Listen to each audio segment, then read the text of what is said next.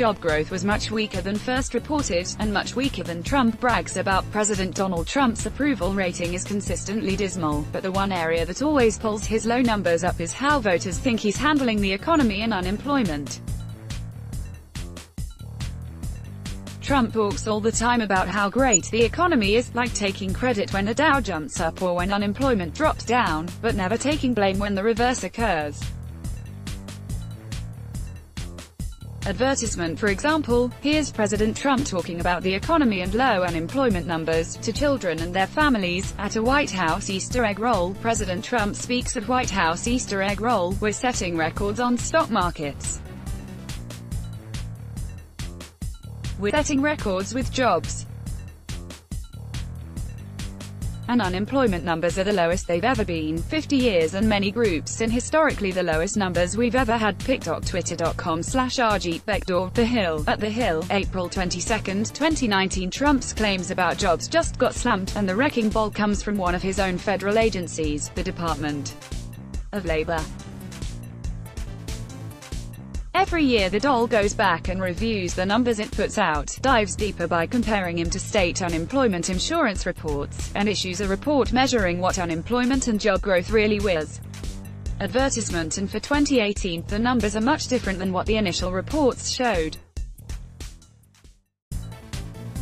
Employers added a half million fewer jobs in 2018 and early 2019 than previously reported, according to the Labor Department. The New York Times reports, calling the revision downward, the largest in recent years. In other words, the DOL initially reported an additional 500,000 jobs that were never created. Advertisement Here's what that looks like. Employers added half a million fewer jobs in 2018 and early 2019 than previously believed, the latest evidence that the economy was weaker last year than it first looked. Https colon slash slash t.co slash 3 simptfiopic.twitter.com slash hcbwq46glz Ben Casselman, at Ben Casselman, August 21, 2019 a contributing editor at Digital Trends says it's a 21% drop in job growth numbers from what the Trump administration often claims. Advertisement after factoring in the half a million reduction, that's roughly a 21% decline in American job growth when comparing the dataset the Trump admin likes to tout, November 2016 to July 2019, versus the previous 33 months, February 2014 to October 2016. Mike Flacy, at Mike Flacy, August 22, 2019 and this senior economist offers up what the revision to the jobs numbers might look like if spread out over just a few months. Important point I forgot to mention on BLS benchmark revision of jobs numbers. They were almost certainly not evenly spread over the year. Take an extreme case and the full 500k was in the last three months.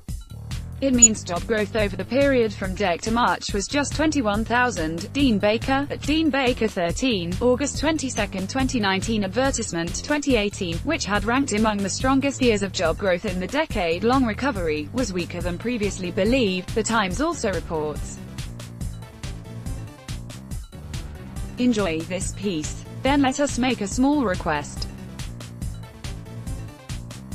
Like you, we here at Raw Story believe in the power of progressive journalism, and we're investing in investigative reporting as other publications give it the axe. Raw Story readers power David Cay Johnston's DCReport, which we've expanded to keep watch in Washington. We've exposed billionaire tax evasion and uncovered White House efforts to poison our water. We've revealed financial scams that prey on veterans, and legal efforts to harm workers exploited by abusive bosses. We've launched a weekly podcast, We've Got Issues, focused on issues, not tweets. And unlike other news outlets, we've decided to make our original content free. But we need your support to do what we do. Raw Story is independent. You won't find mainstream media bias here. We're not part of a conglomerate, or a project of venture capital brothers.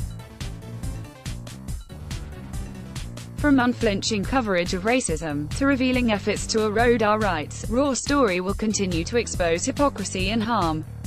Unhinged from billionaires and corporate overlords, we fight to ensure no one is forgotten. We need your support to keep producing quality journalism and deepen our investigative reporting. Every reader contribution, whatever the amount, makes a tremendous difference. Invest with us in the future.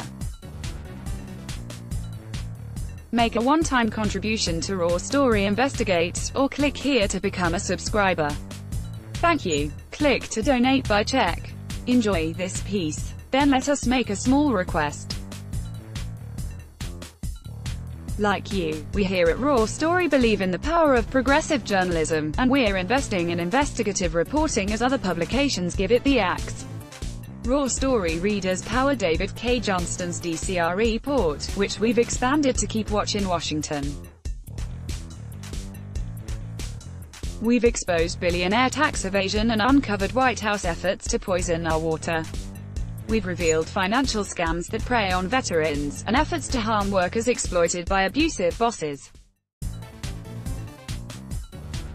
We've launched a weekly podcast, We've Got Issues, focused on issues, not tweets. Unlike other news sites, we've decided to make our original content free. But we need your support to do what we do. Raw Story is independent. You won't find mainstream media bias here. We're not part of a conglomerate, or a project of venture capital brothers. From unflinching coverage of racism, to revealing efforts to erode our rights, Raw Story will continue to expose hypocrisy and harm.